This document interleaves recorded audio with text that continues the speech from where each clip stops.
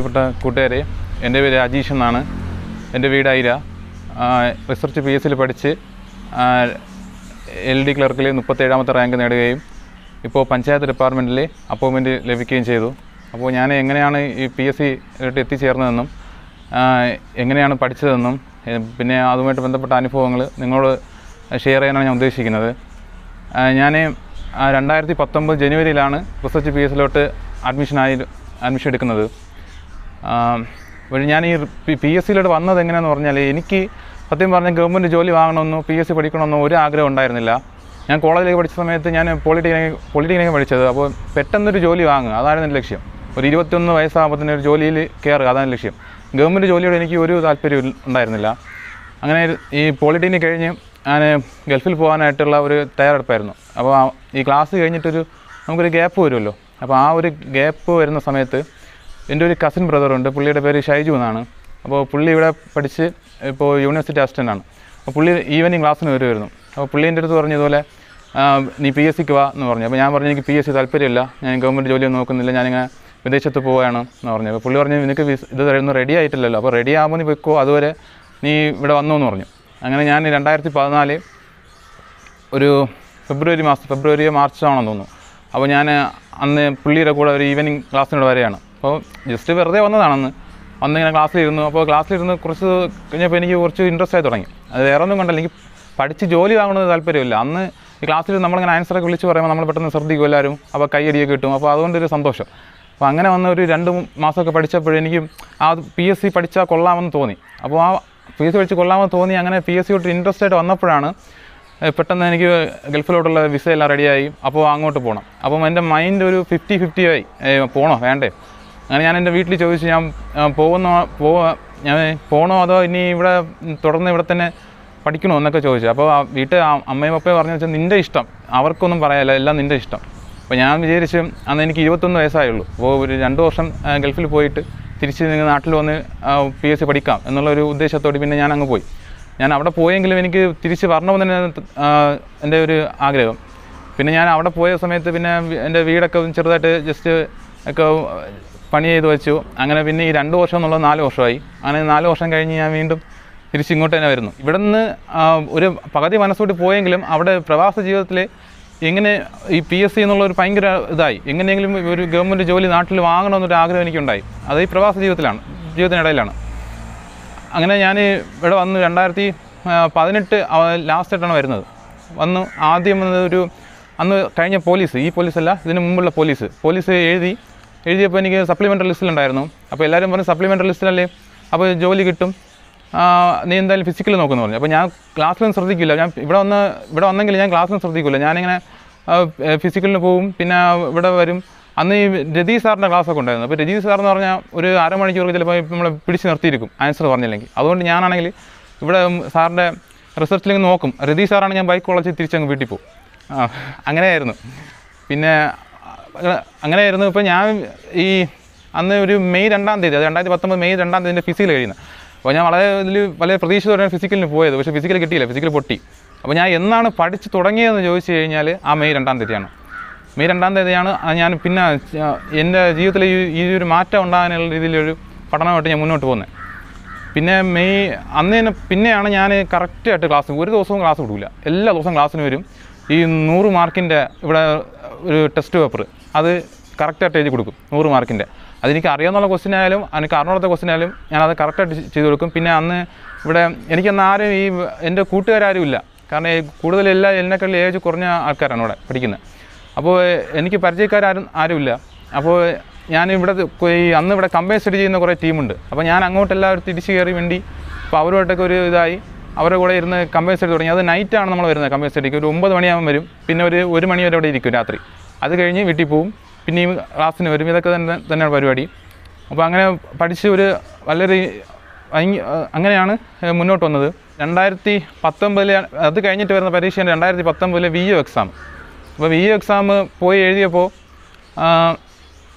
അതെനിക്ക് വലിയ മാർക്കൊന്നും കിട്ടിയില്ല. ഒരു അറുപത്തേഴ് മാർക്കേ കിട്ടിയുള്ളൂ. പക്ഷേ ആ വി ഒ എക്സാമാണ് എന്നെ ഈ ഏത് രീതിയിൽ പഠിക്കണം? നമ്മൾ പി എസ് സിയിൽ പഠിക്കുമ്പോൾ നമുക്കൊന്നും കളയാനില്ല.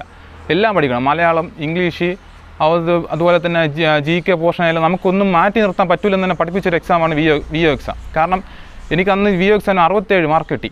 അതിൽ എനിക്ക് ഇംഗ്ലീഷിൽ കിട്ടിയ മാർക്ക് വെറും രണ്ട് മാർക്ക് അതിൽ ഞാൻ ഇംഗ്ലീഷ് പ്രതീക്ഷയോടെ ചെയ്തത് കുറെ തെറ്റി. അപ്പോൾ ഈ രണ്ട് മാർക്ക് കൂടി പോയി ചിലപ്പോൾ എനിക്ക് സീറോയിലായിരിക്കും ഇംഗ്ലീഷ് വന്നത്.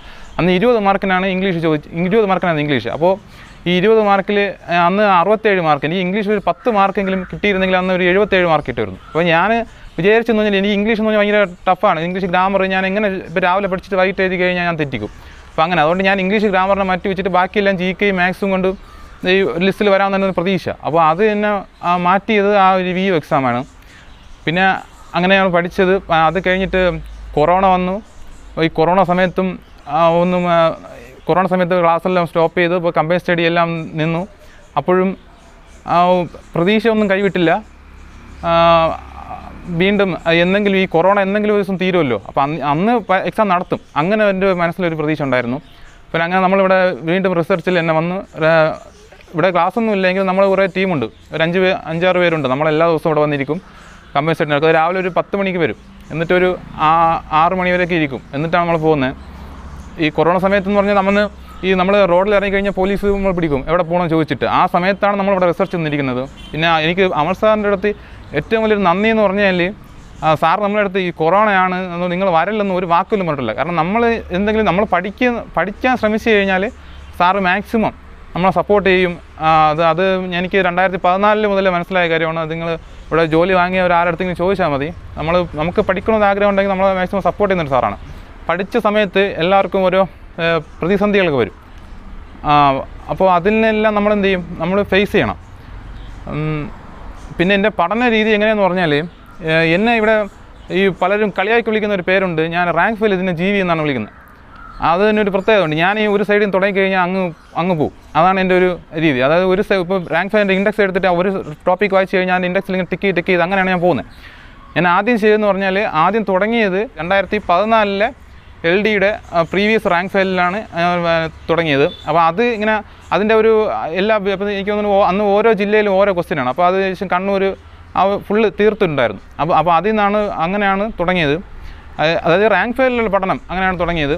അത് കഴിഞ്ഞിട്ട് അതൊരു എൽ ഡിയുടെ വീണ്ടും ഒരു റാങ്ക് ഫയൽ അത് ഞാൻ ഫുള്ള് തീർത്തിട്ടുണ്ടായിരുന്നു. ഒരു ആറേഴ് മാസം കൊണ്ട് ഫുള്ള് തീർത്തിട്ടുണ്ടായിരുന്നു. പിന്നെ അത് കഴിഞ്ഞിട്ട് പിന്നെ നമ്മളിപ്പോൾ ഒരു റാങ്ക് ഫയലൊക്കെ പഠിച്ച് തീർത്ത് കഴിഞ്ഞാൽ വീണ്ടും അവർ അപ്ഡേറ്റ് ചെയ്ത് വരുന്നതൊക്കെ നമുക്ക് നല്ല എളുപ്പമായിരിക്കും. നമുക്കിപ്പോൾ നമുക്ക് അറിയുന്നുള്ള ക്വസ്റ്റ്യൻ എന്തായിരിക്കും ഒരു എൺപത് തൊണ്ണൂറ് ശതമാനവും നമുക്ക് അറിയുന്നുള്ള ക്വസ്റ്റിൻ ആയിരിക്കും. ബാക്കി വരുന്ന ഒരു പത്ത് ശതമാനം മാത്രം പഠിച്ചാൽ മതി. നമുക്ക് വീണ്ടും ഒരു റാങ്ക് ഫയൽ ഒരു ഒന്ന് ഒന്ന് ഒരു മാസം കൊണ്ടൊക്കെ നമുക്ക് ഒരു റാങ്ക് ഫയൽ തീർക്കാൻ പറ്റും. നൂറ് മാർക്കിന്റെ മോഡൽ എക്സാം നടക്കും. അപ്പോൾ ഈ ചില ആൾക്കാരൊക്കെ ഈ മോഡൽ എക്സാം എന്തോ ആ ക്ലാസ് തുടങ്ങുന്ന തൊട്ട് മുമ്പ് ഒരു എന്തെങ്കിലുമൊക്കെ എഴുതി എഴുതി കൊടുക്കും. കാരണം സാറ് പിടിക്കുമോ എന്നൊക്കെ ഒരു പേടിയിൽ ഒരിക്കലും അങ്ങനെ ചെയ്യാൻ പാടില്ല. മോഡൽ എക്സാം നമ്മൾ കറക്റ്റ് അറ്റൻഡ് ചെയ്യണം. കാര്യം എന്ന് പറഞ്ഞാൽ ഈ മോഡൽ എക്സാം ആണ് എന്റെ ഒരു ബേസ് അതായത് അതിനെ ഇങ്ങനെ വളർത്തി കൊണ്ടുവന്നത് നമ്മൾ ഈ മോഡൽ എക്സാം എഴുതുമ്പോൾ നൂറ് മാർക്കിന്റെ ക്വസ്റ്റ്യനിൽ ഒരിക്കലും ഓപ്ഷൻ കാണില്ല നമ്മൾ നമ്മളെ മൈൻഡിൽ നിന്ന് ആലോചിച്ചിട്ട് എഴുതുന്നത്. പക്ഷേ ബാക്കി നമ്മളിപ്പോൾ എക്സാം എഴുതുമ്പോൾ അതിന്റെ നാല് ഓപ്ഷൻ കാണും. നമുക്ക് പെട്ടെന്ന് എഴുതാൻ പറ്റും. പക്ഷേ മോഡൽ എക്സാം അങ്ങനെയല്ല. നമുക്ക് ഒരു മോഡൽ എക്സാം നിങ്ങൾക്ക് ഒരു പത്ത് മാർക്ക് കിട്ടിയാലും അത് നിങ്ങളൊരു പരാജയമല്ല. കാരണം നമ്മളെ മനസ്സിനകത്ത് എന്താണ് ഉള്ളത്? നമ്മൾ പഠിച്ചതിൽ നമ്മൾ മൈൻഡിൽ നമുക്ക് ആലോചിച്ച് എടുത്തെഴുതുന്ന ഒരു എക്സാമാണ് അപ്പോൾ അത് നമ്മൾ ചെയ്ത് കഴിഞ്ഞാൽ ഉറപ്പായിട്ടും നമുക്ക് ഒരു നല്ലൊരു വിജയം. അതായത് ഈ നമ്മളൊരു എന്താണ് എക്സാം എഴുതാൻ പോകുമ്പോൾ നമ്മുടെ ബേസ് ഒന്നും നമ്മളെ കയ്യിൽ നിന്ന് പോകില്ല ആ ബേസിലുള്ള മാർക്കെല്ലാം നമുക്ക് അതുപോലെ കിട്ടണമെങ്കിൽ നമ്മൾ ഇതുപോലെ മോഡൽ എക്സാം എഴുതിയാലേ പറ്റുള്ളൂ. ആ ടോപ്പിക് അനുസരിച്ചിട്ട് അതുപോലെ നമ്മൾ എഴുതണം. പിന്നെ രണ്ടായിരത്തി പത്തൊമ്പത് ലാസ്റ്റ് ഈ ഒരു എക്സാം സമയത്ത് ഇവിടെ റിസർച്ചിൽ നൂറ് മാർക്കിന് ഒരു ക്വസ്റ്റ്യൻ ഉണ്ടായിരുന്നു. അതായത് എന്നെ വളരെയധികം ഒരു ആവേശം അന്ന് നമ്മൾ കൊണ്ടുവന്നൊരു എക്സാമാണ് ഈ നൂറ് മാർക്കിന് എക്സാം എല്ലാ ദിവസവും ഉച്ചയ്ക്ക് ശേഷം ഒന്നരയ്ക്കാണ് എക്സാം സ്റ്റാർട്ട് ചെയ്യുന്നത്. എന്നിട്ട് ഒരു മൂന്ന് മണിയൊക്കെ എക്സാം തീരും. അത് കഴിഞ്ഞിട്ട് ഈ ഈ ക്വസ്റ്റ്യൻ ആൻസർ എക്സ്പ്ലെയിൻ ചെയ്യും. അപ്പോൾ ഭയങ്കര ആവേശമായിരുന്നു. സത്യത്തിൽ നമ്മൾ പി എസ് സി എഴുതാം എഴുതുന്ന അതേ ഫീലിങ്ങിലൂടെയാണ് ആ അതേ മോഡൽ ക്വസ്റ്റ്യൻ എഴുതുന്നത്. പി എസ് സി എഴുതാം എഴുതുന്ന അതേ ഫീലിംഗ് അന്നൊക്കെ ഒരു ഈ എങ്ങനെയെങ്കിലും എന്റെ ഒരു ലക്ഷ്യം എന്ന് പറഞ്ഞാൽ എങ്ങനെയെങ്കിലും ഇവിടെ റിസർച്ചിൽ ഒന്നാം റാങ്ക് വാങ്ങാൻ പറ്റുമെന്ന് നോക്കിയിട്ടുണ്ട്. നടന്നിട്ടില്ല. കാരണം എനിക്കൊരു പതിനൊന്നാമത്തെ റാങ്ക് വരെ കിട്ടിയിട്ടുണ്ട് അവസാനം. ആദ്യമൊക്കെ ഈ മോഡൽ എക്സാം എഴുതുമ്പോൾ ഒരു അമ്പത്തഞ്ച് മാർക്ക് അമ്പത് മാർക്ക് ആ ഒരു ലെവലിൽ നിന്നാണ്. പിന്നെ പിന്നെ ഒരു എഴുപത് എഴുപത്തിയാറ് മാർക്ക് വരെയൊക്കെ എന്റെ ഓർമ്മയിൽ പോയിട്ടുണ്ട്. അന്ന് ഈ മോഡൽ എക്സാം നടത്തുന്ന സമയത്ത് ഇവിടെ എല്ലാം ടോപ്പ് കിട്ടുന്ന ഒരു ചേച്ചി ഉണ്ടായിരുന്നു. ഐശ്വര്യ പി എസ് എന്നാണ്. എനിക്കൊക്കെ ഭയങ്കര ഒരു ഇതാണ്. കാരണം എല്ലാ ദിവസവും നോക്കിയാലും ആ മോഡൽ എക്സാം കഴിഞ്ഞിട്ട് സാർ റാങ്ക് ലിസ്റ്റ് ഇടും. റാങ്ക് ലിസ്റ്റ് ഇടുമ്പം നമ്മളെ ഒരു ഇരുപത് ആ റേഞ്ചിൽ കിടക്കും. ഐശ്വര്യ പി എസ് ഒന്നാമത്. ഒന്നാമത്. അപ്പോൾ എങ്ങനെയെങ്കിലും ഈ എങ്ങനെയാണ് ഈ പഠിക്കണമെന്ന് എനിക്ക് അറിയണം അപ്പോൾ ഞാൻ ഈ ഒരു ഈ ചേച്ചി എടുത്ത് എനിക്ക് പേര് മാത്രമേ കേട്ടുള്ളൂ ഐശ്വര്യ പി എസ് എന്ന്. പക്ഷേ എനിക്ക് വേറെ ഞാൻ കണ്ടില്ല. അപ്പോൾ എങ്ങനെയെങ്കിലും ഒന്ന് ഒരു ദിവസം പരിചയപ്പെടണമെന്നും പിന്നെ അവരടുത്ത് സംസാരിക്കണമെന്നൊക്കെ ഭയങ്കര ഒരു ആഗ്രഹിച്ചൊരു വ്യക്തിയാണ്. ഈ ഇതൊക്കെ വേറെ ഒന്നുമില്ല എങ്ങനെയാണ് പഠിക്കും? എങ്ങനെയാണ് ഈ ടോപ്പ് വാങ്ങുന്നത് കാരണം അന്ന് ചേച്ചിക്ക് എൽ ഡിയിലെ റാങ്ക് ലിസ്റ്റിലുണ്ട്. അപ്പോൾ എങ്ങനെയാണ് ഈ പഠിക്കുന്നത്? എന്തൊക്കെയാണ് ട്രിക്ക് എന്നൊക്കെ അറിയാൻ വേണ്ടിയിട്ടുള്ളൊരു ആകാംക്ഷ ഉണ്ടായിരുന്നു. അങ്ങനെ ഞാൻ പിന്നെ കൊറോണ സമയത്ത് പിന്നെ ആ ചേച്ചിയുടെ കമ്മ്യൂണിസ്റ്റ് സ്റ്റഡിക്ക് വന്നപ്പോഴാണ് ഇങ്ങനെ പരിചയപ്പെടുകയും ആ ചേച്ചിയുടെ ഒക്കെ ഒരു ഭയങ്കര ഒരു നല്ലൊരു മോട്ടിവേഷൻ ഉണ്ട്. കാരണം ഒരുപാട് ഇത് പഠിക്കാനുള്ള ഒരു എളുപ്പ മെത്തേഡുകളും എങ്ങനെയാണ് പഠിക്കുന്നതെന്നുള്ളതൊക്കെ ചേച്ചി എനിക്ക് പറഞ്ഞു തന്നിട്ടുണ്ട്. പിന്നെ അതുപോലെ തന്നെ ഈ ക്ലാസ്സിലൊക്കെ ഈ നമ്മൾ പഠിക്കുന്ന സമയത്ത് ഓരോ ആൾക്കാർ ലഡുവൊക്കെ കൊണ്ടുവന്നിട്ട് അവരെ അനുഭവങ്ങൾ പറയും. അതെന്നെ നല്ല രീതിക്ക് മോട്ടിവേറ്റ് ചെയ്തിട്ടുണ്ട്. കാരണം ചില ആൾക്കാരുടെ സാഹചര്യമൊക്കെ കേൾക്കുമ്പോൾ നമ്മൾ വിചാരിക്കും എനിക്ക് ഇതിനെക്കാട്ടിൽ എന്തോ നല്ല സാഹചര്യമുണ്ട്. എന്നാൽ അത്രയും വീട്ടിൽ പോയിരുന്ന് പഠിക്കാൻ പോലും പറ്റാത്ത സാഹചര്യത്തിലുള്ള ആൾക്കാരാണ് പലരും ഇവിടെ വന്നിട്ട് നമുക്ക് അവർ പറയുന്നത്. അപ്പോൾ നമ്മൾ നമ്മൾ വിചാരിക്കും നമ്മുടെ സാഹചര്യമാണ് ഏറ്റവും മോശം. ബാക്കി എല്ലാവർക്കും എന്തോ ഭയങ്കര കംഫർട്ടായിരുന്നു പഠിക്കുകയാണെന്ന്. പക്ഷേ അങ്ങനെയൊന്നുമില്ല. ഈ ജോലി വാങ്ങുന്ന എല്ലാവരും അവർക്കും ഇതുപോലെ ഓരോ പ്രശ്നങ്ങൾ അതിജീവിച്ചിട്ടാണ് അവർ ഈ ഇതിലോട്ട് വന്നത്. കൂടുതലും ക്ലാസ്സിലിരുന്ന് പഠിപ്പിക്കുന്നത് ഞാൻ അപ്പം തന്നെ പഠിച്ചിരിക്കും. എനിക്ക് ഏറ്റവും ഇഷ്ടപ്പെട്ട ഒരു സബ്ജക്റ്റ് എന്ന് പറഞ്ഞാൽ ഹിസ്റ്ററിയാണ് പ്രത്യേകിച്ച് അമർ സാറിന്റെ ടോപ്പിക്കെല്ലാം ഭയങ്കര ഇഷ്ടമാണ്. കാരണം സാറ് കൂടുതൽ എടുക്കുന്നത് ഹിസ്റ്ററിയൊക്കെയാണ് അപ്പോൾ എനിക്കത് ഭയങ്കര ആവശ്യമാണ്. ആയിരത്തി ഇരുന്നൂറ്റി ആയിരത്തി ഇരുന്നൂറ്റി മുപ്പത്തി ആറ് റസിയ സുൽത്താന ഡൽഹിയിൽ അധികാരത്തിൽ കയറിയെന്ന് സാറ് രണ്ടായിരത്തി പതിനാലിൽ പഠിപ്പിച്ചത് എനിക്ക് ഇപ്പോഴും ഓർമ്മയുണ്ട്. അപ്പോൾ ഈ ഹിസ്റ്ററി ഹിസ്റ്ററി നല്ല ഓർമ്മ ശക്തിയാണ് കാരണം അത് എനിക്ക് വേറെ ഒന്നുമില്ല എനിക്കത് ഇഷ്ടപ്പെടുകയാണ്. ഇഷ്ടമുള്ളതുകൊണ്ടാണ് അതിന് ഹിസ്റ്ററി ജോഗ്രഫി അങ്ങനെ സയൻസ് സബ്ജക്റ്റ് അപ്പോൾ എനിക്ക് നിങ്ങളോട് പറയാനുള്ളത് നിങ്ങൾക്ക് ഒരു സബ്ജക്റ്റ് നിങ്ങളത് ഇഷ്ടപ്പെട്ട് കഴിഞ്ഞാൽ അത് കറക്റ്റായിട്ട് നമുക്ക് അത് ഓർമ്മയായിരിക്കുമല്ലോ അതായത് നമ്മൾ ഞാനിപ്പോൾ ഇംഗ്ലീഷ് ടഫാ ടഫാണെന്ന് വിചാരിച്ചുകൊണ്ടിരുന്നതുകൊണ്ടാണ് എനിക്ക് ഇംഗ്ലീഷ് കിട്ടാതെ പോയത്. പക്ഷേ അവസാനം ഞാൻ ഇംഗ്ലീഷ് പഠിച്ചെടുത്തു എനിക്ക് ഈ എൽ ഡിയിൽ ഇംഗ്ലീഷിൽ പത്ത് പത്ത് പത്ത് ക്വസ്റ്റ്യൻ ഉണ്ടായിരുന്നാലും ഒമ്പത് മാർക്ക് എനിക്ക് കിട്ടി. ഒന്ന് എനിക്ക് അതിനോട് ഞാൻ കളഞ്ഞു. എല്ലാത്തിനും എനിക്ക് സ്പെഷ്യൽ ബുക്കുണ്ട് അത് മലയാളത്തിന് ഒരു ബുക്കുണ്ട് ഇംഗ്ലീഷിന് ഒരു ബുക്കുണ്ട് മാത്സിന് ബുക്ക് ഉണ്ട്. ഞാൻ ഈ മാത്സിൽ സ്പെഷ്യൽ ആയിട്ടുള്ള നമ്മളിപ്പോൾ പഠിച്ച സബ്ജക്റ്റിനകത്ത് തന്നെ മാത്സിന് ചില ക്വസ്റ്റ്യൻ കാണുമ്പോൾ ഭയങ്കര വലിയ പ്രയാസമെന്ന് തോന്നും. പക്ഷേ അതിന്റെ മെത്തഡൊക്കെ സിമ്പിളായിരിക്കും അപ്പോൾ ഇങ്ങനത്തെ ക്വസ്റ്റ്യൻസൊക്കെ ഞാൻ സെലക്ട് ചെയ്ത് ആ എന്റെ ബുക്കിൽ എഴുതി വെക്കും. ഇത് ഇത് ഞാൻ വീണ്ടും റിപ്പീറ്റ് ചെയ്ത് നോക്കും ഈ സംഭവം. അതുപോലെ മലയാളത്തിലായാലും ശരി ഇംഗ്ലീഷിലായാലും ശരി ഇത് ഇതുപോലത്തെ എല്ലാം ഞാൻ എഴുതി വെക്കും. ഈ ഒരു അതായത് വെറൈറ്റി ക്വസ്റ്റ്യൻസ് ഇതിന് വേണ്ടി സെപ്പറേറ്റ് ബുക്കുണ്ട് അപ്പോൾ വെറൈറ്റി ക്വസ്റ്റ്യൻസ് പിന്നെ പ്രീവിയസ് ചോദിച്ചിട്ട് കൂടുതൽ തെറ്റിച്ചിട്ടുള്ള ക്വസ്റ്റ്യൻസ് ഇതെല്ലാം ഞാൻ എഴുതി വെച്ചിട്ടുണ്ടാവും. പിന്നെ പിന്നെ ഓരോന്ന് ഞാൻ ഫിൽറ്റർ ചെയ്താണ് പഠിക്കുന്നത്. ഇപ്പോൾ ഒരു റാങ്ക് ഫെയിൽ ഇപ്പോൾ തീർന്നു കഴിഞ്ഞാൽ അല്ലെങ്കിൽ നമ്മൾ ഒരു സ്റ്റഡി നടത്തുമ്പോൾ ഞാൻ അത് ഒരു കമ്പൈൻ സ്റ്റഡിക്ക് തന്നെ ഞാൻ കയ്യിൽ ചെറിയ ഡയറി ആയാലും ബുക്ക് ഉണ്ടാവും. ഇതിൽ നിന്ന് ചെറുതായിട്ട് ഇങ്ങനെ എഴുതി എഴുതി വെക്കും. എഴുതിയാൽ എനിക്ക് മാത്രമേ വായിക്കാൻ പറ്റൂ വേറെ ആർക്കും വായിക്കാൻ പറ്റില്ല. എന്നിട്ട് ഈ കമ്പൈൻ സ്റ്റഡി നടത്തിയപ്പോൾ ഈ ഈ- എഴുതി വെച്ചത് എഴുതി വെച്ചെന്ന് പറഞ്ഞാൽ എനിക്ക് അറിഞ്ഞോടത്താണ് എഴുതി വെക്കുന്നത്. ഞാൻ പിന്നെ ഇത് വീട്ടിൽ പോയിട്ട് വീണ്ടും ഇത് വായിക്കും. പിന്നെ പിറ്റേ ദിവസം വീണ്ടും റിപ്പീറ്റ് ചെയ്ത് വായിക്കും. അപ്പോൾ വീണ്ടും കുറേ രണ്ട് ദിവസം വായിക്കാൻ നോക്കുമ്പോൾ മനസ്സിലാവും പിന്നെ ഞാൻ പിന്നെ രണ്ട് ദിവസം കഴിഞ്ഞിട്ട് വീണ്ടും എടുത്ത് വായിക്കും. ആ- ആ സമയത്ത് വീണ്ടും നമുക്ക് കിട്ടാത്ത എന്തെങ്കിലും ഉണ്ടെങ്കിൽ അതിനൊരു ഹൈലൈറ്റർ കൊണ്ട് മാർക്ക് ചെയ്ത് വയ്ക്കും. അപ്പോൾ ഇങ്ങനെ എല്ലാം ഫിൽട്ടറാണ് ഈ ഫിൽട്രേഷൻ ചെയ്തിട്ടാണ് ഞാൻ കൂടുതൽ പഠിക്കുന്നത് അല്ലാതെ ഒരിക്കൽ വായിച്ചതിനെ വീണ്ടും ഞാൻ അത് വീണ്ടും നോക്കാറില്ല. അതിനകത്ത് നിന്ന് എന്തെങ്കിലും നമുക്ക് കിട്ടാത്ത എന്തെങ്കിലും ടോപ്പിക് ഉണ്ടോ എന്ന് നോക്കിയിട്ടാണ് വായിക്കുന്നത് പിന്നെ പഠന രീതിയിൽ രാവിലെ ഞാൻ രാ എണീക്കുന്നത് ഒരു അഞ്ച് മണിക്ക് എണീക്കും. അത് കഴിഞ്ഞിട്ട് ആദ്യം വായിക്കുന്നത് മലയാളമാണ്. മലയാളത്തിലെ ഒക്കാബുലറി പോർഷന് ആദ്യം വൊക്കാബുലറി പോർഷൻ പിന്നെ ഇംഗ്ലീഷ്. അത് കഴിഞ്ഞിട്ട് പിന്നെ ജി കെ. പിന്നെ രാത്രി ഉറങ്ങാൻ സമയത്ത് ആ ഒരു ടൈമിലാണ് ഈ പ്രീവിയസ് പഠിച്ച കാര്യങ്ങൾ. നമ്മൾ പഠിച്ചിട്ടുള്ള കാര്യങ്ങൾ ഒന്ന് റിവൈസ് ചെയ്ത് നോക്കുന്നത് ആ ടൈമിലാണ്. അല്ലെങ്കിൽ ആ ടൈമിൽ മാത്സ് ഇരുന്ന് ചെയ്യും. പിന്നെ ഈ എക്സാം ടൈം ആകുമ്പോൾ പിന്നെ വല്ലാത്തൊരവസ്ഥയാണ്. കാരണം ഒരു എക്സാമിന് ഒരു അറുപത് അല്ലെങ്കിൽ അതൊരു രണ്ട് മാസം മുമ്പേ. ഏറ്റവും നന്നായിട്ട് ഞാൻ പഠിക്കുന്ന ഒരു സമയമാണത്. കാരണം നമ്മൾ എത്ര മാത്രം പഠിച്ചെന്ന് പറഞ്ഞിട്ട് കാര്യമില്ല. നമ്മൾ എക്സാം സമയത്ത് നമ്മൾ എങ്ങനെ മാത്രം അതിനെ പ്രിപ്പയർ ചെയ്യുന്നുണ്ട് അതുപോലെ ഇരിക്കും. നമ്മൾ അല്ലെങ്കിൽ നമ്മൾ ഈ റാങ്ക് ഫയൽ ഈ കട്ട് ഓഫ് മാർക്കിന്റെ അടുത്തൊക്കെ വന്ന് നമ്മൾ വീഴും. അപ്പോൾ എക്സാം സമയത്ത് നമ്മൾ നല്ല രീതിക്ക് പഠിക്കണം. ഈ കഴിഞ്ഞ വർഷം തന്നെ നന്നാ പഠിച്ചിട്ടിരുന്ന കുറേ ആൾക്കാർ കൊറോണ സമയപ്പോഴേ അവർ നിർത്തിപ്പോയി. പക്ഷേ എന്റെ മനസ്സിലൊരു പ്രതീക്ഷ ഉണ്ടായിരുന്നു. കാരണം എന്നെങ്കിലും കൊറോണ തീരും. അത് കഴിഞ്ഞിട്ട് പി എസ് എക്സാം വയ്ക്കും. അപ്പോൾ എനിക്ക് എന്തായാലും എഴുതണം. എനിക്ക് ആ ലിസ്റ്റിൽ വരണം എന്നൊരു ഇതെനിക്കുണ്ടായിരുന്നു ഞാൻ കൊറോണ സമയത്ത് ചെയ്തതെന്ന് പറഞ്ഞാൽ അന്ന് സ്കൂൾ ടെസ്റ്റ് സ്കൂൾ ടെസ്റ്റ് വായിക്കാൻ കാരണമുണ്ട്. കാരണം വി ഒ എക്സാമിന് ഒരു രണ്ട് മൂന്ന് ക്വസ്റ്റ്യൻ സ്കൂൾ ടെസ്റ്റിൽ നിന്ന് അതുപോലെ ചോദിച്ചു. അപ്പോൾ ഞാൻ എനിക്ക് മനസ്സിലായി. ഇനി എന്തായാലും സ്കൂൾ ടെസ്റ്റിൽ നിന്ന് പി എസ് ചോദിക്കും. അപ്പോൾ ഞാൻ വേറെ ഒന്നും ആലോചിച്ചില്ല. സ്കൂൾ ടെസ്റ്റ് വാങ്ങി അഞ്ചാം ക്ലാസ് മുതൽ പത്താം ക്ലാസ് വരെ സ്കൂൾ ടെസ്റ്റ് ഫുള്ള് അതായത് സ്കൂൾ ടെസ്റ്റിന് വെറുതെ പഠിക്കുകയല്ല അതിന്റെ വരികൾ സഹിതം. കാണാതെ പഠിച്ചെന്ന് ആ അവർ ആ രീതിക്കാണ് പേജ് നമ്പർ സഹിതം പഠിച്ചതുപോലെയാണ് ഞാൻ പഠിച്ചത്. അതുകൊണ്ട് തന്നെ എനിക്ക് സ്കൂൾ ടെസ്റ്റിൽ നിന്ന് ഒരു മാർക്കും പോയില്ല. ഈ എൽ ഡി ക്വസ്റ്റ്യന് സയൻസ് സബ്ജക്റ്റ് സ്കൂൾ ടെസ്റ്റ് അതിൽ നിന്നും ഒരു മാർക്കും പോയില്ല. സിംസും മെയിൻസും ഇത് രണ്ടും നമ്മൾ വളരെ ഇമ്പോർട്ടന്റ് പഠിക്കേണ്ടതാണ്.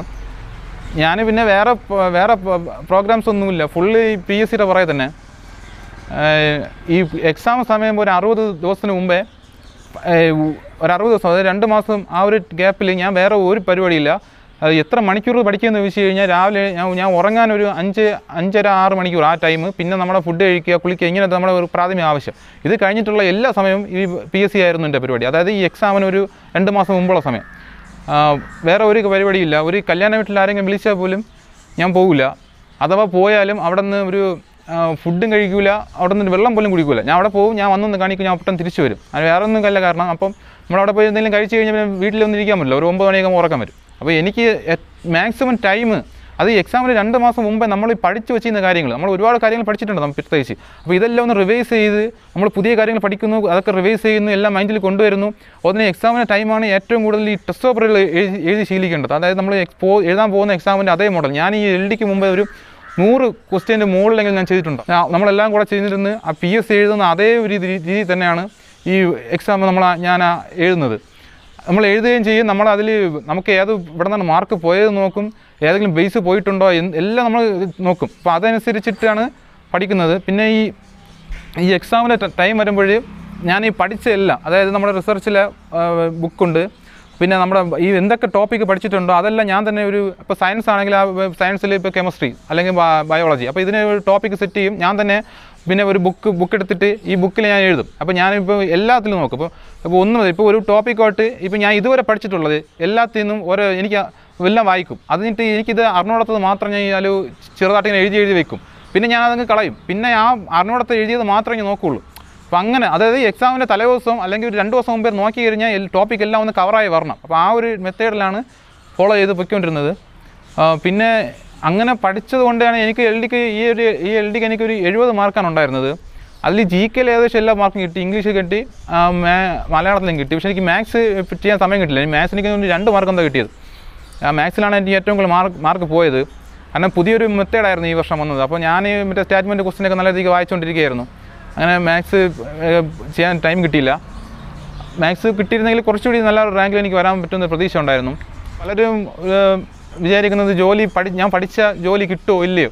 എനിക്ക് നിങ്ങളോട് പറയാനുള്ളതെന്ന് പറഞ്ഞാൽ പഠിച്ചു കഴിഞ്ഞാൽ ഉറപ്പായിട്ട് ജോലി കിട്ടും. അതിന് വേറെ ഒരു സംശയമില്ല നമ്മുടെ ബൈബിളിൽ ഒരു വാക്കുണ്ട് കണ്ണിനീരോടെ വിതയ്ക്കുന്നവൻ സന്തോഷത്തോടെ കൊയ്യുന്നു. അതാണ്. ഇപ്പോൾ എന്റെ അനുഭവം പറഞ്ഞു കഴിഞ്ഞാൽ ചില ആൾക്കാരൊക്കെ ഒന്ന് പറഞ്ഞിങ്ങനെ പറയും അണ്ണാ നിങ്ങൾക്ക് പഠി നല്ലൊരു ഇത് ഇല്ലായിരുന്നു നിങ്ങൾ പഠിച്ചത് നിങ്ങൾക്ക് പഠിക്കാൻ സാഹചര്യം ഉണ്ടായിരുന്നു എനിക്ക് ഒട്ടും സാഹചര്യം ഇല്ലായിരുന്നു. ഞാൻ ഈ രണ്ടായിരത്തി ഞാൻ ഈ ഒന്നതിന്റെ ഏജ് ഇങ്ങോട്ടായി. ഞാൻ ഗൾഫിലൊക്കെ പോയിട്ട് അപ്പോൾ ഗൾഫിൽ നിന്ന് പോകുന്നതിന് ഇത് പിന്നെ നമുക്കറിയാലോ അവിടെ നിന്ന് നിർത്തി വരിക അപ്പോൾ നമ്മുടെ സമ്പാ സാമ്പത്തികം ഒന്നുമില്ല പപ്പയ്ക്ക് കൂലിപ്പണിയാണ്. അപ്പോൾ അങ്ങനെ വരുമ്പോൾ പിന്നെ ഇവിടെ നിൽക്കുന്ന സാഹചര്യങ്ങൾ പിന്നെ ആൾക്കാർ ചോദിക്കും നീ എന്ത് നടക്കുന്നു? ഇങ്ങനെ എന്തിനാ അങ്ങനെ നടക്കുന്നു? നിനക്ക് ഒരു പ്രൈവറ്റ് ജോലിക്ക് നീ പൊക്കോടെ? നിന്റെ അച്ഛന്റെ വീട്ടിലെ സാഹചര്യം കാരണോടെ? എന്നൊക്കെ പറഞ്ഞിട്ട് നമ്മുടെ ഇങ്ങനെ ഓരോ പറയും ഓരോ ആൾക്കാർ പക്ഷേ നമ്മളതൊന്നും മൈൻഡ് ചെയ്താണ് അതിലോട്ട് വരുന്നത്. കാരണം ഒരു പ്രതീക്ഷ. എന്തായാലും പഠിച്ചു കഴിഞ്ഞാൽ ജോലി കിട്ടുമെന്നുള്ളൊരു പ്രതീക്ഷ ഉണ്ട് പിന്നെ ചിലവർക്ക് ചിലവരൊക്കെ എന്റെ ഭാഗ്യമാണ് വിധിയാണ് ഇങ്ങനെയൊക്കെ. കാരണം ഭാഗ്യത്തിന് വിധിക്കൊന്നും ഒരു ഒരു റീസണുമില്ല ഞാൻ രണ്ടായിരത്തി പതിനെട്ടിൽ ഈ കൊറോ ഈ ഞാൻ പറഞ്ഞില്ല ഒരു പ്രിലിം പി ഫസ്റ്റത്തെ പോലീസ് എക്സാം എഴുതിയത്. അപ്പോൾ ഈ പോലീസ് എക്സാമിന് പോലീസ് എക്സാം ഈ മാറ്റി വെച്ച എക്സാമാണ് ഞാൻ രണ്ടായിരത്തി പതിനെട്ട് മെയിൽ മെയിൽ എന്തോ ആയിരുന്നു ആ എക്സാം അത് നടത്തേണ്ടിരുന്നത്. അപ്പോൾ ഞാൻ അന്ന് ദുബായിലായിരുന്നു. അപ്പം ഞാൻ ലീവ് എടുത്ത് ഈ പത്ത് ദിവസം ലീവ് എടുത്ത് ഈ എക്സാമിന് വേണ്ടി വന്നു.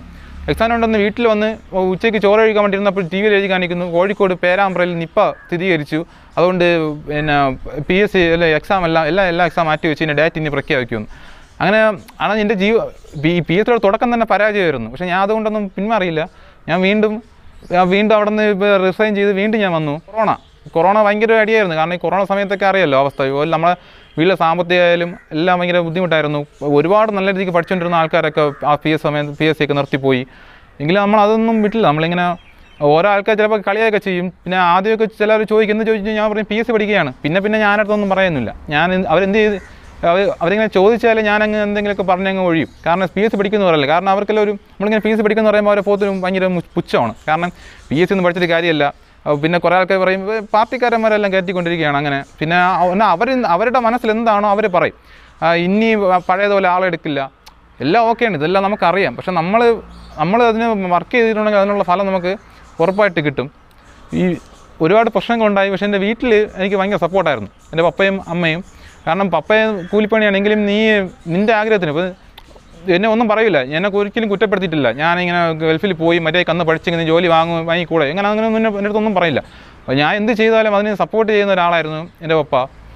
പക്ഷേ ഏറ്റവും വലിയൊരു ഒരു ട്രാജഡി ആയിരുന്നത് ഈ എൽ ഡി എക്സാമിന് ഒരു പത്ത് ഇരുപത് ദിവസം മുമ്പ് പപ്പ മരിച്ചുപോയി. അത് പെട്ടെന്നുള്ള മരണമായിരുന്നു. ഒരു ദിവസം ഹോസ്പിറ്റലിൽ പോകുന്നു പിറ്റേ ദിവസം ഐ സിയിലാക്കുന്നു പിറ്റേ പെട്ടെന്ന് ആൾ മരിക്കുന്നു. അപ്പോൾ ഞാൻ ഒരിക്കലും പ്രതീക്ഷയില്ല. ഒപ്പം മരിച്ചു പോകുന്ന അങ്ങനെ കാരണം നമ്മുടെ ജീവിതത്തിന്റെ പശ്ചാത്തലം പെട്ടെന്ന് ഈ മണിക്കൂറുകളുണ്ടാണ് എന്റെ മാറിയത്. ഞാൻ അത്രയും ഒരു കംഫർട്ടിൽ ഇരുന്ന് പഠിച്ചുകൊണ്ടിരുന്നിട്ട് പെട്ടെന്ന് ആ എക്സാമിന്റെ ആ ഒരു സമയത്ത് തന്നെ ഞാൻ ഞാനും ഞാൻ ഈ എക്സാമിന് മുമ്പ് ഞാൻ മനസ്സിൽ ഒരുപാട് കാര്യങ്ങൾ കണ്ടു വെച്ചിട്ടുണ്ടായിരുന്നു. എങ്ങനെ തീർക്കണം ഏതൊക്കെ ടോപ്പിക് കവർ ചെയ്യണം. പക്ഷേ അതൊന്നും എനിക്ക് കറക്റ്റായിട്ട് ചെയ്യാൻ പറ്റില്ല നമ്മളിപ്പോൾ ഒരു മൂന്ന് മാസം പഠിച്ചിട്ട് ഒരു മൂന്ന് ദിവസം അല്ലെങ്കിൽ നാല് ദിവസം നമ്മൾ പഠിക്കാതിരുന്ന് കഴിഞ്ഞാൽ നമ്മൾ മൈൻഡ് വേറെ ഒന്നിൽ പോയി കഴിഞ്ഞാൽ നമുക്ക് ഉറപ്പായിട്ട് നമുക്ക് കൺഫ്യൂഷൻ വരും നമ്മൾ ആ പ്രതീക്ഷ ഒരു ഫലം കിട്ടില്ല നമ്മൾ എപ്പോഴും എനിക്ക് ഇവിടെ വേറെയും കുറേ എനിക്ക് അറിയാമെന്നുള്ളത് നമ്മളിപ്പോഴും കണ്ടിന്യൂസ് പഠിക്കുക. അല്ലാതെ നമ്മൾ മൂന്ന് മാസം കുത്തിയിരുന്ന് കാണാതെ ഉറക്കവനിച്ച് പഠിച്ച് പിന്നെ നമ്മൾ ഒരു മാസം കഴിഞ്ഞ് പിന്നെ പഠിക്കുന്നില്ല. അത് കഴിഞ്ഞിട്ട് വീണ്ടും പഠിച്ച്. ഇങ്ങനെ പഠിച്ചു കഴിഞ്ഞാലും നമ്മൾ ഒരു പക്ഷേ റാങ്ക് ഇത് കട്ട് ഓഫിന്റെ അടുത്തൊക്കെ ഒന്ന് നിൽക്കേ ഉള്ളൂ. നമ്മൾ പഠിക്കുന്നുണ്ടെങ്കിൽ കണ്ടിന്യൂസ് പഠിക്കുക. അപ്പോൾ നമ്മളിപ്പം പഠിച്ചുകൊണ്ടിരിക്കുകയാണ് നമുക്ക് ഒന്ന് രണ്ട് ദിവസം പഠിക്കാൻ പറ്റാത്തൊരു സാഹചര്യം വന്നു കഴിഞ്ഞാലും നമ്മൾ മനസ്സിലൊന്ന് ഓർമ്മിക്കണം. നമ്മൾ എവിടെയാണ് പഠിച്ച് നിർത്തിയത്? ഇനി നമുക്കിന്ന് തുടക്കണം നമ്മൾ ഈ പി എസ് സി ക്ലാസ്സുകൾ ഇതൊക്കെ മനസ്സിങ്ങനെ ഓർമ്മിച്ചുകൊണ്ടിരിക്കും ചില ചില സാഹചര്യം നമുക്ക് പഠിക്കാൻ പറ്റില്ല എങ്കിലും നമ്മുടെ മനസ്സിൽ നമ്മുടെ ചിന്ത അതായിരിക്കണം. നമുക്ക് അങ്ങനെ എങ്കിൽ മാത്രമേ നമുക്കിത് ഒരു ഫ്ലോ ആയിട്ട് നിൽക്കുകയുള്ളൂ അപ്പോൾ നമ്മൾ മൈൻഡ് മാറിയാൽ നമുക്ക് പിന്നെ ഈ വീണ്ടും അത് തുറക്കുമ്പോൾ വീണ്ടും എന്തോ പുതിയതുപോലെ തോന്നും. അപ്പോൾ എനിക്ക് ആ ഒരു ചിന്ത ഉണ്ട്. എനിക്ക് എനിക്കറിയാം അങ്ങനെ സംഭവിക്കും. അതുകൊണ്ടാണ് പപ്പ ഐ സിയിലായിരുന്ന സമയത്ത് ഞാൻ എന്റെ ഫ്രണ്ട് ഇരുന്നിട്ട് ഇത് ചെയ്തുകൊണ്ടിരിക്കുകയായിരുന്നു. പിന്നെ അങ്ങനെ മരിച്ചു. വീട്ടിൽ വന്നു എനിക്ക് ഭയങ്കര ഇതാണ്. കാരണം പപ്പയോട് ഇഷ്ടമായിരുന്നത് മാത്രമല്ല ഈ ഈ പപ്പ ഇങ്ങനെ ഇത്രയും സപ്പോർട്ട് ചെയ്തുകൊണ്ട് തന്നെ ഈ അഡ്വൈസ് കിട്ടുമ്പം ആദ്യം പപ്പയെ കൊണ്ട് കാണിക്കണമെന്നായിരുന്നു ഭയങ്കര ആഗ്രഹം. ഈ റാങ്ക് ഫൈവ് പപ്പയ്ക്ക് ഭയങ്കര സന്തോഷമാവും ഞാൻ രണ്ടായ ഞാൻ പോലീസിന്റെ ഫിസിക്കലി പിന്നെ പരാജയപ്പെട്ടിട്ട് വീട്ടിൽ വന്നപ്പോൾ പപ്പയുടെ മുഖം കണ്ടപ്പോഴാണ് എനിക്കത് ഭയങ്കര മനസ്സിലായത് അപ്പോൾ എങ്ങനെയെങ്കിലും പപ്പയെ കാണിക്കണം എന്നൊരാഗ്രഹമായിരുന്നു അങ്ങനെ പപ്പ മരിച്ച്. പപ്പ മരിച്ചപ്പം പിന്നെ വല്ലാത്തൊരവസ്ഥയാണ്. ഒരു മൈൻഡൊക്കെ ഒരു അബ്നോർമൽ അങ്ങനെ പുറമേ ഇങ്ങനെ ചിരിച്ചുകൊണ്ടൊക്കെ സംസാരിക്കുമെങ്കിലും ഫുള്ള് പോയാണ്. പിന്നെ ഉറക്കവും എല്ലാം പോയി. പിന്നെ പി എസ് സി എല്ലാം എല്ലാം പോയി. അങ്ങനെ ഇരുന്നു. ഒരു അഞ്ച് ദിവസം കഴിഞ്ഞ് അന്നൊരു വെള്ളിയാഴ്ച അന്നായിരുന്നു പ്രാർത്ഥന. അപ്പോൾ പ്രാർത്ഥന കഴിഞ്ഞിട്ട് അന്ന് വൈകിട്ട് ഞാൻ പഠിക്കണമെന്ന് പറഞ്ഞുകൊണ്ട് ബുക്കൊക്കെ തുറന്ന് നോക്കി. നോക്കിയപ്പോൾ എനിക്കാണെങ്കിൽ ഒന്നും മനസ്സിലാവില്ല ഞാൻ എന്തോ പുതിയ എന്തൊക്കെ എടുത്ത് വായിച്ച് വയ്ക്കും പോലെ തോന്നി. അപ്പോൾ കു- കുറേ സമയം ഇങ്ങനെയൊക്കെ ആലോചിച്ചിരുന്നു. എല്ലാം എന്നിട്ട് പിറ്റേ ദിവസം രാവിലെ ഒരു ഒമ്പത് മണിയായപ്പോഴേക്കും ചെറിയൊരു ബാഗ് കൊണ്ട് ഒരു കുപ്പി വെള്ളം എടുത്ത് ഞാൻ റിസർച്ച് പി എസ് സി വന്നു. അതായത് എന്റെ പപ്പ മരിച്ച് അഞ്ച് ദിവസം കഴിഞ്ഞ്. മണിക്കൂറുള്ള ഒരു കണക്ക് വെച്ച് കഴിഞ്ഞാൽ നാല് ദിവസം പോലും ഞാൻ അന്ന് ഞാൻ ഈ റിസർച്ച് പി എസ് സിയിൽ വന്നു. അത് വേറൊന്നുമില്ല ഒറ്റ ആഗ്രഹം. പഠിച്ച ജോലി കിട്ടും എന്നുള്ള ഒരു ഉറപ്പും. ആ ഒരു എന്താ എന്റെ ലക്ഷ്യത്തിൽ എത്തണമെന്ന് എനിക്കൊരു ഉറപ്പുണ്ട് ഒരു വാശി പോലെ ആയിരുന്നു. അതുകൊണ്ടാണ് ഞാൻ അന്ന് പിറ്റേ ദിവസം ഞാൻ അന്ന് വന്ന് ഞാനൊരു എനിക്ക് ഒമ്പത് മണി മുതൽ ഒരു രണ്ടര വരെ ഞാൻ ഇവിടെ നിന്ന് വായിച്ചിട്ടാണ് പോയത്. എന്റെ വീട്ടിലെ സാഹചര്യമൊക്കെ മോശമായി. എങ്കിലും ഞാൻ എനിക്ക് ഒരു ഒരുപാട് വിഷമമുണ്ട്. കാരണം ഒരു മൈൻഡൊക്കെ ഒരു അത്മാവുള്ളതാണ് അങ്ങനെ ഒരു പ്രശ്ന ഒരു കാര്യമാണ്. കാരണം ആ ഒരു സിറ്റുവേഷൻ പറഞ്ഞാൽ മനസ്സിലാവില്ല അങ്ങനെ ആയിരുന്നു. പക്ഷേ എങ്കിലും ഞാൻ വീട്ടിൽ കയറി റൂമിൽ ഒക്കെ ചെയ്തിട്ട് ഇങ്ങനെ ഇത് തന്നെ പരിപാടി. പണ്ട് എങ്ങനെ ചെയ്തിട്ടിരുന്നത്. എവിടെ നിന്നാണ് ഞാൻ നിർത്തിയത് അവിടെ നിന്ന് വീണ്ടും പഠിച്ചു. അപ്പോൾ എൽ ഡി അങ്ങനെയാണ് എൽ ഡി കിട്ടിയത്. അപ്പോൾ എൽ ഡി മുപ്പത്തേഴാമത്തെ റാങ്ക് കിട്ടിയ കോഴിക്കോട് മുപ്പത്തേഴാമത്തെ റാങ്കാണ്. പക്ഷേ എൽ ഡി മാത്രമല്ല ഞാൻ പ്രിലിംസ് എഴുതിയത് പത്ത് എന്നെ എഴുതിയത്. പത്ത് ക്ലാസ്സും പ്ലസ് ടുവും കൂടെ പത്ത് പ്രിലിംസ് എഴുതി പത്ത് പ്രിലിംസും പാസ്സായി. ഇനി മെയിൻസ് വന്നാലും ഒമ്പത് ഒമ്പത് മെയിൻസിൽ മെയിൻ ലിസ്റ്റിന്റെ പേരുണ്ട്. ഇനി ഒന്ന് ഒരു ലിസ്റ്റിൽ കൂടി വന്നു കഴിഞ്ഞാൽ പത്തിലും എന്റെ പേരുണ്ട്. ഇനി എക്സൈസ് കൂടി മാത്രമേ വരാവുള്ളൂ. അതിൽ എന്റെ വരുമെന്നാണ് എന്റെ പ്രതീക്ഷ. അപ്പോൾ ഈ ഒമ്പത് ലിസ്റ്റിലും പേരുണ്ട് അപ്പോൾ ഈ പത്തിൽ വന്നു കഴിഞ്ഞാൽ എഴുതിയ എല്ലാ ലിസ്റ്റിലും അതായത് ഈ പത്ത് ലിസ്റ്റിലും എന്റെ പേരുണ്ട്. അത് എങ്ങനെ വന്നെന്ന് ചോദിച്ചു കഴിഞ്ഞാൽ അതാണ്. അതായത് നമ്മൾ ആ വർക്ക് ചെയ്യുന്ന രീതിയാണ്. എനിക്ക് അത്രയും ടെൻഷനിലാണ് ഞാൻ പഠിക്കുന്നത്. ആണ് ഈ ഒരു ക്വസ്റ്റ്യൻ ഇവിടെ നിന്ന് കിട്ടും. ഒരു ക്വസ്റ്റ്യൻ ഞാൻ ഞാൻ ഈ പല പലപ്പോഴും ഈ ഇടയ്ക്ക് കുറച്ച് പേര് പറഞ്ഞ് P S C bulletin P S C bulletin question ചോദിക്കുന്നു. ഉടനെ ഞാൻ പി എസ് സി ബുള്ളറ്റ് വാങ്ങിയത് വായിക്കും. അത് പഠിക്കും. അതിൽ ഞാൻ ഞാൻ പഠിച്ചിട്ട് കിട്ടാത്ത ടോപ്പിക് ഉണ്ടോ നോക്കും. അങ്ങനെ എവിടെ നിന്നൊക്കെ ക്വസ്റ്റ്യൻ ചോദിക്കും അതിൽ ക്വസ്റ്റ്യനോട് ഒരു ആർത്തിയാണ് സത്യം പറഞ്ഞു ഇനി അതുപോലെ തന്നെ ഒരു ദിവസം കുറേ നമ്മളിങ്ങനെ വായിച്ചില്ലെങ്കിൽ പിന്നെ അന്ന് ഭയങ്കര ടെൻഷനാണ്. ഇനി ഇപ്പോൾ ഈ ഞാൻ വിചാരിക്കുന്നത് പറഞ്ഞാൽ ഈ എൽ ഡി കോഴിക്കോട് എഴുതിയത് ഒരു ലക്ഷത്തി അറുപത്തി അയ്യായിരം പേരാണ്. അപ്പോൾ ഈ ഒരു ലക്ഷത്തി അറുപത്തി അയ്യായിരം പേര് ഒരു ശതമാനം ആയാൽ തന്നെ ആയിരത്തി അറുന്നൂറ്റി അമ്പത് പേരായി. എന്തായാലും ഇതിൽ ഈ ഒരു ആയിരം പേരൊക്കെ ലിസ്റ്റ് മെയിൻ ലിസ്റ്റ് ഇടുകയുള്ളൂ. അപ്പോൾ നമ്മൾ പഠിക്കണമെങ്കിൽ നമ്മൾ അത്രയും പഠിക്കണം. നമ്മൾ ആ ഒരു വലിപ്പം നമ്മൾ അറിയാം അതുകൊണ്ട് തന്നെ എങ്ങനെയെങ്കിലും ഇതിൽ വരണമെന്നൊരു വലിയൊരു ആഗ്രഹം ഉണ്ടായിരുന്നു. അഡ്വൈസ് അപ്പോയിൻമെന്റ് ഒരുമിച്ചാണ് കിട്ടിയത്. അല്ലെ ഞാൻ അതുകൊണ്ടാണ് ഞാൻ അല്ലെ ഞാൻ ക്ലാസ്സിൽ വരണമെന്ന് ഉദ്ദേശിച്ചത്. അപ്പോൾ എനിക്ക് ഇവിടെ റിസർച്ച് ബി എസ് പഠിക്ക റിസർച്ച് ഇത് പഠിക്കാൻ വരുന്ന വരുന്നവരോട് പറയാനുള്ളതെന്ന് വെച്ചാൽ നിങ്ങൾക്ക് നല്ലൊരു അവസരമാണ് കിട്ടിയിരിക്കുന്നത്. നമ്മൾ ഈ അവസരം നമുക്ക് നമ്മൾ വിചാരിക്കും ഈ എക്സാം കഴിഞ്ഞിട്ട് അടുത്ത് ഇനി സമയമുണ്ടല്ലോ എനിക്ക് ഏജ് ഉണ്ടല്ലോ. ഇങ്ങനെയൊന്നും ചിന്തിച്ചിട്ടിരിക്കരുത്. കാരണം നമ്മുടെ ലൈഫ് എപ്പോഴാണോ നമ്മുടെ സിറ്റുവേഷൻ ഒന്ന് മാറണം എന്നൊക്കെ പറയാൻ പറ്റില്ല അതുകൊണ്ട് ഏറ്റവും പെട്ടെന്ന് നമുക്ക് അടുത്ത് വരുന്ന എക്സാം ഏതാണ് നമ്മൾ അതിൽ കയറാൻ ശ്രമിക്കുക. അതിനുവേണ്ടി പഠിക്കുക. അല്ലാതെ ഒരിക്കലും നമുക്ക് ഇന്ന് കിട്ടിയ അവസരം നമ്മൾ എത്രയോ പേർക്ക് അവസരം ഇല്ലാതിരിക്കുന്നു പഠിക്കാനായിട്ട്. അപ്പോൾ നമുക്ക് കിട്ടിയ അവസരം നമ്മൾ ആ ഒരു കംഫോർട്ടിലിരുന്ന് നമ്മൾ മാക്സിമം പഠി പഠിക്കാൻ ശ്രമിക്കുക. അതുപോലെ എനിക്ക് ഒരിക്കലും പിന്നെ നമ്മുടെ ഒരു പിന്നെ സൗഹൃദത്തിന് വലിയൊരു പങ്കുണ്ട്. നമ്മുടെ ഈ എനിക്ക് പറഞ്ഞാൽ കമ്പനി സ്റ്റഡിക്ക് ഭയങ്കര നമ്മുടെ ഒരു നല്ല നല്ലതാണ്. ഈ കൊറോണ സമയത്തിന് സത്യം പറഞ്ഞാൽ ഇവന്റെ ഒളിവിലെ ഓർമ്മകൾ പോലെയാണ്. ഒളിച്ചിരുന്നാണ് പി എസ് സി പഠിച്ചത്. പിന്നെ നാല് മണിക്ക് അതുപോലെ ചായക്കടയിൽ അന്ന് ഒളിച്ചാണ് ചായ കുടിക്കാൻ പോകുന്നത്. ആ ചായ ചായ ചായക്കടയുടെ പുറകിലോട്ട് പോകുന്ന ഒരുപാട് അനുഭവങ്ങളാണ്. പറയാൻ തീരില്ല പിന്നെ നമ്മുടെ എല്ലാവരും ടീമുണ്ട് കാരണം ആ ടീമിലുള്ള എല്ലാവർക്കും പഠിച്ച് ജോലി വാങ്ങണമെന്ന് ഒരു മനസ്സുള്ള ആൾക്കാരാണ് അന്നുണ്ടായിരുന്നത്. അവരെല്ലാം ജോലി വാങ്ങിച്ചു. എനിക്ക് ഉറപ്പാണ്. എല്ലാവരും ലിസ്റ്റിലുണ്ട്. എല്ലാവർക്കും ലിസ്റ്റിലുണ്ട്. നമ്മൾ അന്ന് ആ സമയത്ത് പഠിച്ച എല്ലാവർക്കും. അപ്പോൾ അതുപോലെ നിങ്ങളും ഒരു ടീമൊക്കെ ക്രിയേറ്റ് ചെയ്യുക നല്ല രീതിക്ക് പഠിക്കുക. നമുക്കൊരു അത്യാവശ്യം ഒരു പെട്ടെന്നൊരു ഇത് വന്നു കഴിഞ്ഞാൽ നമ്മൾ ഫോൺ എടുത്ത് വിളിച്ചു കഴിഞ്ഞാൽ അതിന് മറുപടി കിട്ടുന്ന ഒരു ഒരു സൗഹൃദങ്ങൾ ഉണ്ടാക്കിയെടുക്കുക. പിന്നെ പലരും റിസർച്ചിൽ വരുമ്പോൾ നമുക്ക് ആദ്യം ആരെയും പരിചയം കാണില്ല എനിക്കും ആരെയും പരിചയമില്ല. ഞാൻ പിന്നെ എനിക്കിപ്പോൾ നമ്മുടെ ആ ഒരു ബാച്ചിൽ അറിയാൻ എന്നെ എന്നെ അറിഞ്ഞോടത്താൽ എനിക്ക് അറിഞ്ഞോളത്ത ആരുമില്ല. അപ്പോൾ നമ്മൾ പിന്നെ അങ്ങോട്ട് സൗഹൃദങ്ങൾ പുതുക്കിയെടുക്കുക. അതൊക്കെ ഉണ്ടാവും. ചില നമ്മൾ പുറകിലോട്ട് ഒരിക്കലും ഇരിക്കരുത്. പിന്നെ ചില ആൾക്കാർ വിചാരിക്കുന്ന പറഞ്ഞാൽ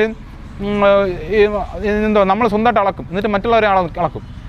അതാണ് ചില ചെയ്യുന്നത്. അതായത് അല്ലേ നമ്മൾ ഒന്നാം ക്ലാസ്സിൽ ഒന്നാം റാങ്ക് രണ്ടാം ക്ലാസ്സിൽ ഒന്നാം റാങ്ക് പത്താം ക്ലാസ്സിൽ പത്ത് പ്ലസ്. ഇങ്ങനെ ഇപ്പോൾ എനിക്ക് അതൊന്നും കിട്ടിയിട്ടില്ല. അതുകൊണ്ട് എനിക്ക് പിന്നെ ഇതിൽ വരാൻ പറ്റുമോ എന്നൊക്കെ ഭയങ്കര ഭയങ്കര ഇതായിരിക്കും. അപ്പോൾ അതിലൊന്നും കാര്യമില്ല. കാരണം ഈ നമ്മൾ സ്കൂളിൽ പഠിക്കുന്നത് അതുമായിട്ടൊന്നും ഈ പി എസ് സി ഒരിക്കലും കണക്ട് ചെയ്യരുത്. ഒരു ഇതുമില്ല. അതുമായിട്ടൊന്നും യാതൊരു ബന്ധവുമില്ല പി എസ് സി പഠനം എന്ന് പറഞ്ഞാൽ. നമ്മുടെ ഒരു മനസ്സാണ്. എനിക്ക് ജോലി വാങ്ങണം എന്നുള്ളൊരു മനസ്സും നമ്മൾ അതിൽ എത്രമാത്രം ആ, ഇത് വരുന്നുണ്ടെന്നാണ്. നമ്മൾ പിന്നെ ഇതുണ്ട്. ഞാൻ ഫസ്റ്റ് ഈ രതീഷ് സാർ വന്നിട്ട് ക്ലാസ്സിൽ ഇപ്പോൾ നമ്മുടെ ഭരണഘടനാ നിർമ്മാതാക്കളുടെ ആറ് ആറ് ഏഴ് പേരെ പേരും ഈ ബോർഡിൽ എഴുതിയിടുമ്പോഴേ എന്നിട്ട് സാറ് പെട്ടെന്ന് വായിക്കും. എന്നിട്ട് പെട്ടെന്ന് പറയാൻ പറയും. അപ്പോൾ ചില പിള്ളേർ എനിക്ക് ഇങ്ങനെ പറയും. അപ്പോൾ ഞാൻ വിചാരിക്കും ജീവമേ ഇവർക്ക് ഭയങ്കര ബുദ്ധിയായിരിക്കും. ഇവർ നല്ല ഓംശത്തി ഞാൻ മാത്രം മണ്ടൻ എന്നുള്ള ഒരു ചിന്തയാണ്. സംഭവം അങ്ങനെയല്ല. അവരെ അവർ ഈ ഭരണഘടനയിൽ ഈ ഒരു ഏഴ് പേരിലും ഒരു പക്ഷേ അവരൊരു നാല് പേരെ പേരെങ്കിലും എവിടെയും കേട്ടിട്ടുണ്ടാവും. ഞാൻ അം- ഡോക്ടർ അംബേദ്കർ ആ പേര് മാത്രമേ കേട്ടുള്ളൂ ബാക്കി ആറ് പേരെ പേര് എനിക്ക് പഠിക്കണം അപ്പോൾ എല്ലാവരും ഈ വർക്ക് ചെയ്യുന്നതാണ് നമ്മളിങ്ങനെ പഠിച്ച് പഠിച്ച് വരുമ്പോൾ നമ്മൾ നമ്മുടെ അറിവ് ഓട്ടോമാറ്റിക്കായിട്ട് ഇങ്ങനെ കൂടി കൂടിക്കൊണ്ടേയിരിക്കും. അല്ലാതെ നമ്മൾ ആരെയും പുറകിലാണ് അല്ലെങ്കിൽ എനിക്ക് ടെസ്റ്റ് പേപ്പർ നടത്തിയപ്പോൾ എനിക്ക് അഞ്ച് മാർക്കാണ് കിട്ടിയത് പത്ത് മാർക്കാണ് കിട്ടിയത്. പിന്നെ ഈ ടെസ്റ്റ് പേപ്പർ എഴുതുമ്പോഴും നമ്മൾ മോഡൽ ടെസ്റ്റ് ആയാലും നമ്മൾ ഇവിടെ എല്ലാം എന്തായാലും മോഡൽ ടെസ്റ്റ് നടത്തും. അതുപോലെ പത്ത് മാർക്ക് ടെസ്റ്റ് നടത്തും. അപ്പോൾ നമ്മൾ ഒരിക്കലും തൊട്ടടുത്തിരിക്കുന്നൊരു നോക്കി എഴുതാനോ അല്ലെങ്കിൽ അതിനൊരു ഇതിട്ടൊന്നും എഴുതരുത്. കാരണം ഒന്നും ഒരു കാര്യമില്ല നമുക്കിപ്പോൾ ഒരു അഞ്ച് മാർക്ക് കിട്ടി ഒരു ഒരു മാർക്ക് കിട്ടിയില്ല. എങ്കിലും കുഴപ്പമില്ല. പക്ഷേ ഒരു മാർക്ക് പോലും തൊട്ടടുത്ത് നോക്കി എഴുതല്ലേ കാരണം നമ്മൾ ഈ നോക്കി എഴുതി ശീലിച്ച് കഴിഞ്ഞാൽ അപ്പോൾ ചിലപ്പോൾ നന്നായി പഠിക്കുന്നവരായിരിക്കും. എങ്കിലും നമ്മളൊരു സംശയം വരുന്നത് അടുത്ത ആൾ ചോദിച്ചിട്ട് എഴുതും. അങ്ങനെ എഴുതല്ലേ? കാരണം അങ്ങനെ എഴുതി കഴിഞ്ഞാൽ നിങ്ങൾ എക്സാമിന് പോകുന്ന സമയത്ത് നിങ്ങൾക്ക് ഉറപ്പായിട്ടും അതൊരു പണി കിട്ടും. കാരണം നമ്മൾ ഏ ക്വസ്റ്റ്യൻ അവിടെ നിന്ന് പോകുമ്പോൾ കൺഫ്യൂഷൻ ആവുകയും ചെയ്യും നമ്മൾ തെറ്റിക്കുകയും ചെയ്യും. ഇതുപോലെ നമ്മൾ കട്ട് ഓഫിന്റെ അടുത്ത് വന്നിട്ട് പൊട്ടുകയും ചെയ്യും. എനിക്ക് ഇത്രയൊക്കെയാണ് പറയാനുള്ളത്. നിങ്ങൾ നല്ലൊരു പഠിക്കുക. അതുപോലെ ജോലി നേടുക. അപ്പോൾ പഠിച്ചു കഴിഞ്ഞാൽ ജോലി കിട്ടും. അപ്പോൾ എനിക്ക് നിങ്ങൾ പറയാനുള്ളത് ഞാൻ ആദ്യം പറഞ്ഞതുപോലെ കണ്ണുനീരോടെ വിതയ്ക്കുന്നവൻ സന്തോഷത്തോടെ കൊയ്യുന്നു. അത്രയേ ഉള്ളൂ. അതുകൊണ്ട് നിങ്ങൾ നമുക്ക് ഓർമ്മശക്തിയില്ല അല്ലെങ്കിൽ മറ്റ് അങ്ങനെ എനിക്ക് എനിക്ക് കഴിവ് കുറവാണ് ആ ഒരു ചിന്തിക്കരുത്. അങ്ങനെ ചിന്തിക്കുന്നവരും പറയുന്നവരും ഞാനിത് പറയാൻ കാര്യം എന്ന് പറഞ്ഞാൽ ഈ ഒരു ഒരു വിഷയം ഞാനൊരു മൂന്ന് മൂന്നര വർഷമായി ഇതിന്റെ പുറകെ നടക്കാൻ തുടങ്ങിയിട്ട്. അപ്പോൾ ഇതിൽ ഒരുപാട് അനുഭവങ്ങളുണ്ട്. പലരും വന്ന് പലരും പറയും എന്റെ സാഹചര്യം മോശമാണ്. അങ്ങനെയാണ് ഇങ്ങനെ എനിക്ക് ഇങ്ങനെ ഒരു സാഹചര്യം ഉണ്ടായതുകൊണ്ട് അല്ലെങ്കിൽ ഞാൻ എക്സാമിൽ റാങ്ക് ലിസ്റ്റിൽ കയറി പറ്റുമായിരുന്നു. അങ്ങനെയൊക്കെ ഒരുപാട് പേർ പറയും. അപ്പോൾ അതിലൊന്നും ഒരു കാര്യമില്ല. നമ്മളൊരു ആഗ്രഹവും നമ്മുടെ ഒരു മനസ്സും ഒക്കെയാണ്. അപ്പോൾ എല്ലാവരും പഠിച്ച് ജോലി കയറുക. എല്ലാവർക്കും നല്ലൊരു ഇത് ആശംസിക്കാം